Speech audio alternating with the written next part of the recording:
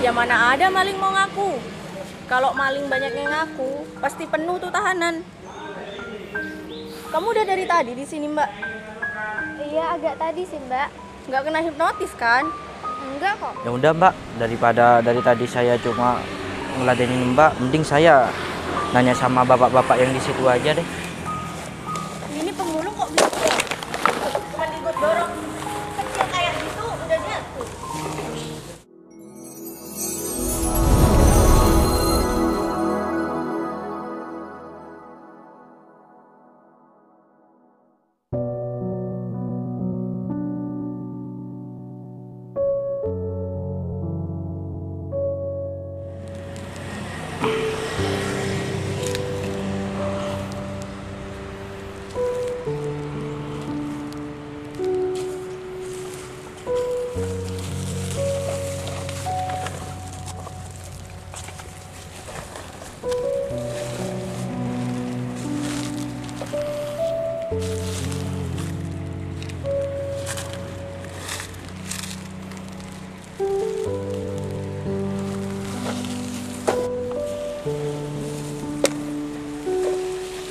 Wah, alhamdulillah ada banyak botol bekas nih. Rezeki emang gak ke mana.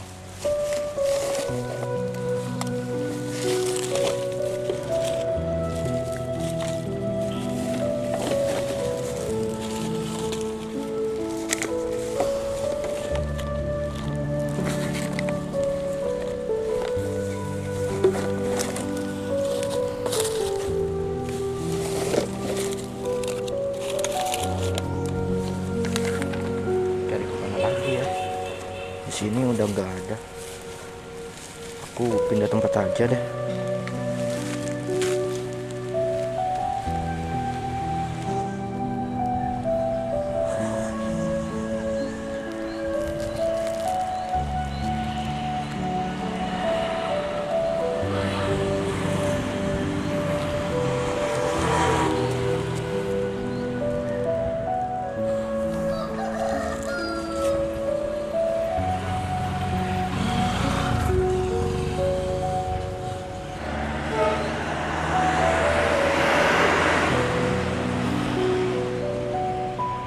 Dulu aku ingin banget menyumbangkan rezeki aku ke masjid ini.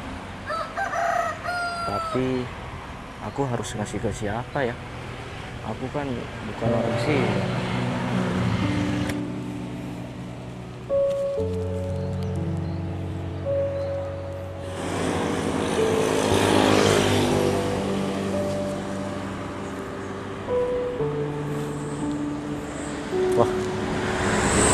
Ada banyak botol bekas.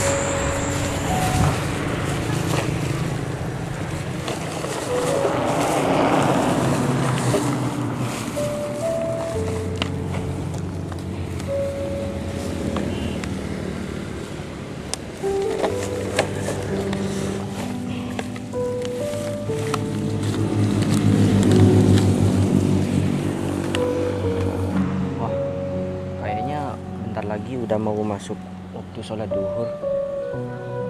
Aku istirahat dulu deh. Sekalian ntar lagi sambil sholat.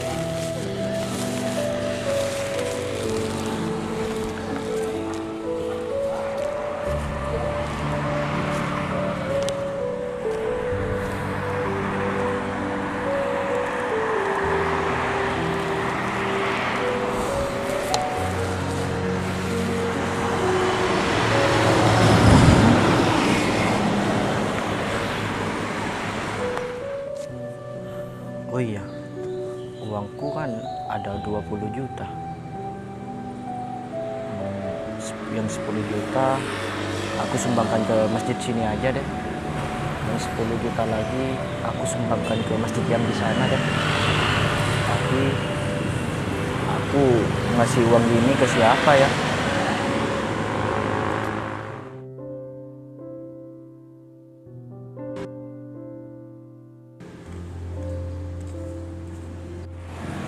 Eh, Mbak, Mbak, Mbak.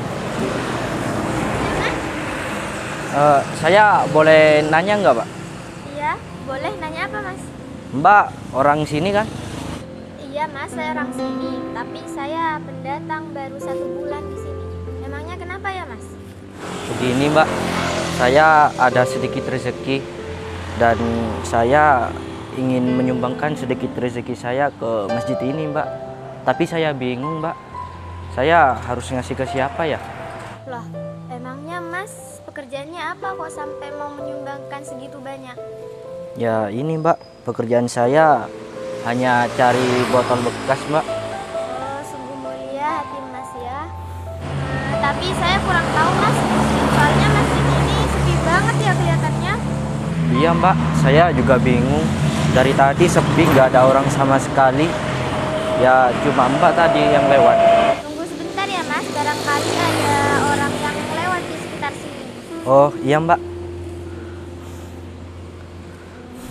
Sepi banget ya masih ada yang lewat. ya udah mbak, duduk aja dulu mbak.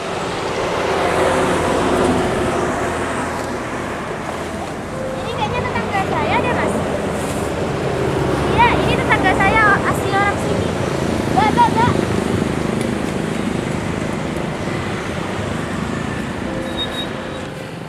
Ya ada apa mbak? Ini mbak, mas ini mau nyumbangkan uang ke masjid. Gimana? Gini mbak, mas ini mau nyumbangkan uang ke masjid. Tapi mas ini nggak tahu mau ngasih uangnya ke siapa. Mas ini? Iya Iya. mbak, Oh, mau nyumbang buat masjid ini mas? iya mbak. Mbak orang sini kan? Iya sih, saya orang sini. Kalau misal mau nyumbangin ya cuman jumlahnya sedikit ya kan bisa. Itu ada kotak amal mas. Kok sampai nyari pengurus masjid segala? Masnya mau nyumbang dengan jumlah yang agak banyak mbak. Emangnya berapa sih? Masnya ini pemulung ya? Iya mbak. Aduh. Oh iya, mas mas munduran dikit dong. Ini panas soalnya saya buka saya perawatan takut kena matahari. Eh, jadi kamu pemulung mau nyumbangin buat masjid ini? Iya mbak. Kamu- Kalau boleh tahu pengurus masjid ini siapa ya mbak? Ya saya tahu sih mas sebenarnya, tapi mas ini kok eh, tekad banget ya mau nyumbangin buat masjid ini dengan jumlah yang cukup besar. Soalnya kan kamu pemulung, buat menghidupi kehidupan sehari-hari pasti juga susah dong. Emang salah ya kalau seorang pemulung menyumbangkan sedikit rezekinya ke masjid? Nggak salah sih. Tapi lihat di kehidupanmu dulu dong, kamu kayaknya buat makan aja susah. Lihat baju kamu. Kenapa nggak kamu belikan baju aja dulu? Orang susah kok sosokan mau nyumbang uang yang banyak. Paling uang yang banyak juga nggak seberapa, paling 20.000 ribu doang ya. Iya mbak, cuma sedikit kok. Mbak emangnya kenal sama orang ini? Enggak mbak, enggak kenal. Barusan saya lewat tiba-tiba mas ini manggil saya.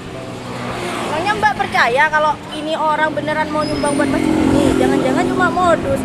Coba mbak diliatin uangnya, siapa tahu nanti ada yang hilang. Gara-gara mbak, mbak jangan memfitnah aku seperti itu mbak. ya bukan fitnah mas. Zaman sekarang kan ya tahu kan kalau kejahatan di mana-mana. Orang yang baik aja bisa jadi nusuk kita dari belakang. Apalagi kamu orang nggak kenal. Lagian mbak ini juga pendatang di sini. Jadi saya takut dia kenapa-napa. menurut saya mbak, apa salahnya mas-mas ini meskipun pemulung mau nyumbangin ke masjid? nggak salah sih mbak tapi kan kita nggak tahu takutnya dia cuma modus aja nanti eh, dia ngajak ngomong mbak malah dompet mbak atau uang mbak atau barang-barang mbak ada yang dia curi Maaf ya mbak, meskipun saya seorang pemulung, saya nggak ada niatan buat mencuri kok. ya mana ada maling mau ngaku kalau maling banyak yang ngaku pasti penuh tuh tahanan kamu udah dari tadi di sini mbak Iya agak tadi sih mbak. nggak kena hipnotis kan Enggak kok. Ya udah mbak, kalau mbak gak bisa bantu saya, saya bisa kok nanya ke orang yang duduk di sana. Aduh, gak usah lah. Kamu gak usah ganggu orang itu, kan paling orang itu juga lagi istirahat. Gak tahu kan kalau mereka paling dari bepergian jauh istirahat di sini. Kamu juga nggak penting kayak gini. Udahlah, Mending kamu taruh aja tuh di kota amal. Kalau misal beneran mau nyumbangin. Ya udah mbak, daripada dari tadi saya cuma ngeladenin mbak, mending saya nanya sama bapak-bapak yang di situ aja deh. Ini pemulung kok cuma ikut dorong kecil kayak gitu udahnya. Kok drama banget sih hidupnya. Jadi kok jangan lemah mas, masa cuma didorong dikit gitu aja udah jatuh. Loh, itu ada apa ya kok rame-rame?